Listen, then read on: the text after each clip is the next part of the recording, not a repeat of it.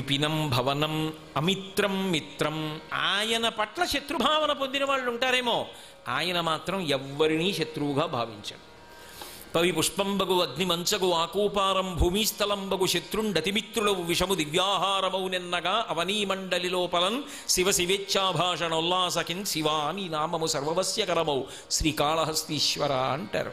దుర్జటి ఇంత సమభావన కలుగుతుంది అంత వైరాగ్యము కలుగుతుంది. ఎప్పుడు అకస్మాత్తుగా కాదు. ఎప్పుడు ఏ ఆశ్రమమునందు ఎలా ఉండాలో అలా ఉండి ఎప్పుడు కలగాలో అప్పుడు కలుగుతుంది. అది ఆవిడ గొప్పతనం. అంతేగాని అకస్మాత్తుగా లేచి వెళ్ళిపోవడం కాదు. అర్థం లేని వైరాగ్యం కాదు. అర్థం లేని వైరాగ్యం నిలబడదు. వైరాగ్యం క్రమపద్ధతిలో రావాలి. ఆశ్రమం మారుతుండగా రావాలి అది అందుకే అనుభవించి అనుభవించి సుఖములను ఇవి సుఖములా అన్న ప్రశ్న లోపలొస్తే వైరాగ్యం నిలబడుతుంది. లేకపోతే ప్రమాదం వస్తుంది. ఇంద్రియాణి బలిష్టాని ననియుక్తాని మానద అపక్వస్య ప్రకుర్వంతి వికారాం స్థాననేకచ భ్రమన్ సర్వతీర్థీషు స్నాత్వా స్నాత్వా పునః పునః నిర్మలం న మనో సర్వం నిరర్ధకం. వ్యాసుడి దేవి భాగవతంలో చెప్తాడు. ఇంద్రియములు బలిష్టములు. అవి కాట్లు వేశాయా జారిపోతాయి. రావణాసురుడు చచ్చిపోయిన తర్వాత మండోదరి ఆ యుద్ధభూమిలోకి వెళ్ళి ఓ మాట చెప్తుంది. అందరూ రాముడిని నిందిస్తుంది అనుకున్నారు ఆవిడ రావణాసుడి దగ్గరికి వెళ్ళింది ఇంద్రియాణి పురాజిత్వా జితం త్రిభువనం స్వయ స్మరద్భిరివతద్వైరం ఇంద్రియైరేవ నిర్జిత అని. ఒరే రావణ నువ్వు ఒకప్పుడు తపస్సు చేసినప్పుడు ఇంద్రియములను పాము మీద కాలు పడ్డట్టుగా తొక్కిపెట్టావు కాలు ఎప్పుడు తీస్తాడని పాము చూసినట్టే ఇంద్రియములు కూడా బలవంతంగా తొక్కి పెట్టావు కాబట్టి అదును కోసం చూశాయి. నీ ఇంద్రియములు చంపే రాముడు కాదని. కాబట్టి లోకములన్నీయున్ గెలిచినాడవు ఇంద్రియానీకము చిత్తమున్ గెలువనేరవు నిన్ను నిబద్ధు చేయు భీషణ శత్రులార్వుర ప్రభిందుల చేసిన ప్రాణికోటిలో నీకు విరోధి లేడొకడు నిర్పున చూడుము ధనవేశ్వర అంటాడు భాగవతంలో ప్రహ్లాదుడు. ఆ ఇంద్రియములను గెలవగలిగినటువంటి సమర్థతనిస్తుంది. ఒక స్థాయిలో సంసారమునందు ఉండాలి బ్రహ్మచర్యంలో చదువుకోవాలి కట్టు మీద కట్టు వేసి కట్టు జారిపోయేటట్టు చేస్తుంది. ఆశ్రమం మారడం కట్టు మీద కట్టు. ఒకప్పుడు బ్రహ్మచారి మనసునందు పటమరించిన కామమునవు ధర్మంతో ముడేస్తారు. ధర్మపత్నితో ముడేసి కొడుకు కూతురు అన్న అర్థమును పొంది తాను తరిస్తాడు. త్యాగాయ సంహృతార్థానాం సత్యాయ మితభాషిణాం యశసే విజిగీషూణాం ప్రజాయై గృహమేధినాం అంటాడు రఘువంశంలో కాళిదాసు. రఘుమహారాజు గారి గొప్పతనం చెప్తూ. కాబట్టి ధర్మము చేత కామమును ముడివేస్తారు. ఉంటాడు మధుర పదార్థాలు తింటాడు బంగారం పెట్టుకుంటాడు వెండి గిన్నెల్లో తింటాడు అన్నీ తింటాడు. ఇవన్నీ ఏమిట్రా? ఇవన్నీ ఏం చేస్తాయి? అది వైరాగ్యం. అప్పుడు దాని మీద మనసు ఉండదు. తిరస్కరిస్తాడు. ఇవన్నీ నాకు అక్కర్లేదంట. ఎందుకని అంటే డాంబికం కాదు. ఆయనకి మనసు లేదు. ఆయనకి వాటి మీద అవి కాదు తరింపచేసేవి. తరింపచేసేది వేతొకటి ఉంది. అది ప్రధానం. కాబట్టి ఇప్పుడు ఏం చేస్తాడు? వీటన్నింటినీ వదిలిపెట్టేసి సమభావన పొందేస్తాడు. అది శివ శివ పశ్యంతి సమం శ్రీ కామాక్షి కటాక్షితా పురుష. విపినం భవనం అమిత్రం మిత్రం లోష్టంచ యువతి బింబోష్టం అంతటి సమానత్వాన్ని పొందుతాడు.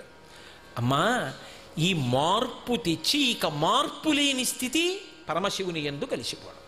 ఇదే శంకరాచార్యుల వారు అమ్మవారి యొక్క పూజ చేస్తే చిట్ట చివరికి ఆవిడ ఏ మార్పునకు తీసుకెడుతుందో చెప్తారు. సరస్వత్యా లక్ష్మ్యా విధిహరి సపత్నో విహరతే రతే పాతివ్రత్యం శిథిలయతి రమ్యేన వపుష చిరంజీవన్నే వక్షపిత పశుపాశవ్యతికర పరానందాభిక్యం రసయతి రసం తద్భజనవాన్ అంటారు.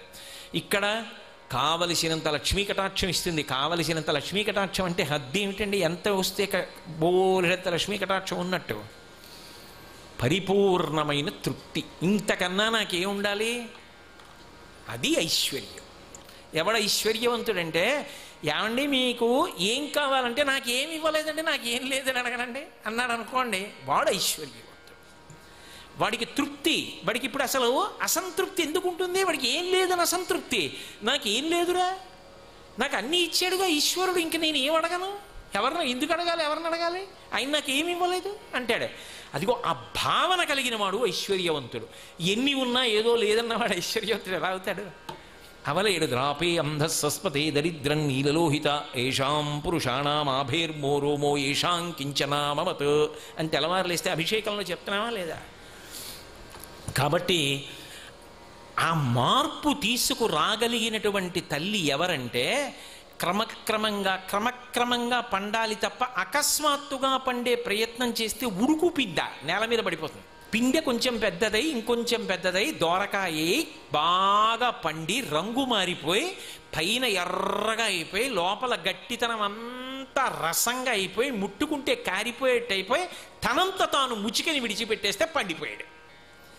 ఇది మార్పు రావాలి. చెట్టును పట్టుకుని ధర్మాన్ని పట్టుకునే లోపల మార్పు రావాలి. ఈ లోపల మార్పు పైకి కనపడదు. లోపల మారుతూ మారుతూ మారుతూ తనంత తాను చెట్టుని వదిలిపెట్టాలి. అంటే ఏదో ఒకనాడు ఇందులో నుంచి జీవుడు నిర్గతమవుతుంటే సాక్షిగా తాను చూస్తూ నిర్భయుడై నిలబడగలగాలి. అది ఆవిడిస్తుంది. అది తామ్రాం భోజం ఆ మార్పులు ఎప్పుడు ఏవి కావాలో అది ఇవ్వగలిగిన తల్లివి నువ్వు. అది ఎరుపు. కాబట్టి నేను నీకు ఈ అనుగ్రహం ఇవ్వగలిగిన దానను నన్ను వదిలెక్కడో తిరుగుతావేమిట్రా కాబట్టి జలదనికటే తామ్రాంభోజం జలదనికటే తత్ర బంధూక పుష్పం ఇప్పుడు నల్ల మబ్బులో ఎర్ర తామర ఉన్నది. బాగా దర్శనం చేశారు కదా మీ అందరూ? కబరీబంధంలో అమ్మవారి ఎర్రటి ముఖమండలం ఉన్నది. అదే ఆవిడ ప్రేమ ఆవిడ కారుణ్యం ఆవిడ లావణ్యం ఆవిడ సౌందర్యం ఆవిడ పాతివృత్యం మీకు నేను మనవి చేసి ఉన్నాను. అందులో ఏముంది? తత్ర బంధూక పుష్పం. బంధూక పుష్పం అంటే అర్థం కావడానికి మంకెన్న పువ్వు అంటారు. మంకెన్న పువ్వు అయితే అందరూ చూస్తారు. ఎర్రగా నిప్పులా ఉంటుంది మంకిన పువ్వు. కానీ నిజానికి మంకిన పువ్వు కాదు. మంకిన పువ్వు పెద్దది ఉంటుంది. చిన్నది వేగి పువ్వు అంటారు. ఎర్రగా నిత్తురు గడ్డ కట్టినట్టు ఉంటుంది. ఆ వేగి పువ్వు ఈ తామర పువ్వులో ఉందిట. అసంభవం. అలా పువ్వులో పువ్వు పుట్టదు. కానీ పుట్టిందని మూకశంకర్లు అంటున్నారు. ఎక్కడ చూస్తూ? అమ్మవారి వంక చూస్తూ. అంటే ఇప్పుడు అన్వయం ఆయన ఏం చూసి చెప్తున్నట్టు ఈ మాట? అంటే ఎర్రటి ముఖంలో ఎర్రటి పెదవి కనపడుతోంది. మీరు ఒక్క విషయం బాగా జ్ఞాపకం పెట్టుకోవాలి. మహాకవులు కానీ ఆచార్య స్థితిని పొంది ఆచార్య అంటే ఆచరించువారు అందానర్థం తెలుసుకుని ఆచరించువారిని ఆచార్య అంటారు. భీష్మాచార్య ద్రోణాచార్య కృపాచార్య అని. అంతేగాని ఇంకో అర్థం కాదు దానికి. ఆచార్య అంటే ఆచరించినవాడు అని. పసిపిల్లవాడు ఎలా ఉంటాడో అటువంటి భావనతో అటువంటి ఉత్తమ సంస్కారంతో మాట్లాడతారు వాళ్ళు. తప్ప కమలాకు చచూచు కకుంకుమతో నియతారుడితాతుల నీలతనో కమలాయ తలోచనలో కపతే విజయీభవ వెంకట శైలపతే అంటాం. ప్రాతస్మరామి పరమేశ్వర బాహుదండాన్ ఖట్వాంగశూల హరిణాహ పినాకయుక్తాన్ గౌరీ కపోల కుచరంజిత పత్ర రేఖాన్ సవర్ణ కంకణ మణిద్యుతి భాసమానాన్ అంటాడు. నప్పుడు ఆ పవిత్ర హృదయంతో నిలబడతాడు. అది ఆ సాధకుని గొప్పతనం.